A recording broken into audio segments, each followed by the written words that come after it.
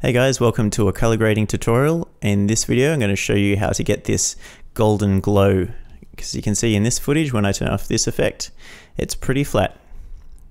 So this is an effect that you can apply to a sequence and it's all about using your creativity. In this sequence, it's like the girl's heading out to this really bright section here. And again, I've lit that up to be nice and yellow, nice and warm. So it adds much more interest. So how do we do it? I'm going to teach you now.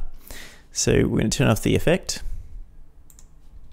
And I use RGB curves for most of my grading because in Premiere Pro, the latest version, it's really quite quite easy to use.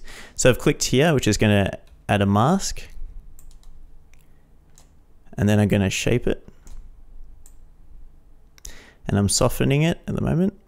So it's all about using your creativity as to the message or the feeling that you'd like to communicate. Just expanding it out. And then you start playing with the colors. So we want to warm it up, we can pull some blue out and then we can push the red up at a bit of brightness by pushing the brightness control. And you can see we're sort of getting a bit of that effect. And then it's all about tweaking those colors until you get something that you're happy with. And then again, feathering to make it a softer effect. And that should get you in the ballpark.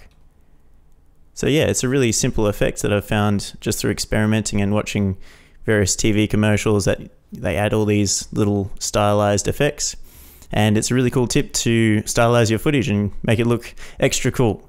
So if you have any uh, other questions, feel free to let me know and I'll be happy to help you out. All right, catch you next time.